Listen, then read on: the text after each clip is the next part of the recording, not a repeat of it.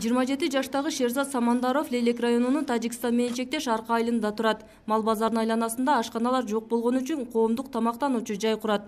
Бирок эмеректерди алганга акчасы ашпай ишмердүүлүк башталбай токтоп турган. Ошол кезде ишкерлерге колдоо көрсөтүүчү долбоор тууралуу угуп бизнес программасын жазат. Ошентип алты жүз миң сом каржы ажыратылып элүү орундуу ашкана ачып олтурат бизде тажиктер дагы бар кыргыздар бар өзбектер бар. Оштон повардарды алып келдик. Шашлыкчылар тажикстандан поварларыбыз өзүбүз айылдан. Кыргыз ишкерлерби?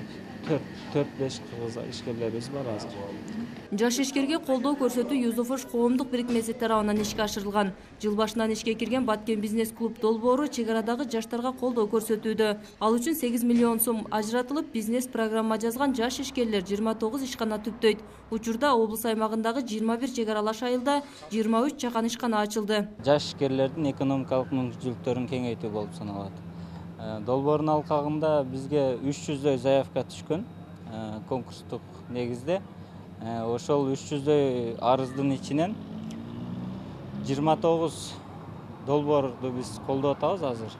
Мында автоунааларга техникалык кызмат көрсөтүү дөңгөлөк желимдөө коомдук тамактануучу жайлар ишкана компьютердик кызмат сыяктуу айыл шартына ыңгайланышкан долбоорлор колдоого алынган бул сыяктуу демилгелер ынтымакты бекемдеп жаштарга дем күч берип эле калбастан элеттердеги экономикалык көрсөткүчтү жогорулатат ошондой элге көрсөтө турган кызматтар бул жерде көбөйгөнү жакшы. Себеби бул жерде трансграничная торговля дейт ошондой соода жакшы өнүккөн. Менимче бул өнүккөнү мындай соода саттык жерлер же тамактануучу жерлер көбөйгөнү бул элге жакшы себеби экономика бул эң бир негизги тирек да чек арада жашаган жаштардын ынтымагын бекемдөө жана сырткы миграциянын алдын алуу максатын көздөгөн демилгени ишке ашырууга швейцариянын кыргызстандагы элчилиги жана бириккен улуттар уюмунун өнүктүрүү программасы колдоого алган эске салсак баткен бизнес клуб долбоору ушул жылдын аягында жыйынтыкталат фироза аскарбек кызы жыргал абдыжалил уулу ынтымак баткен облусу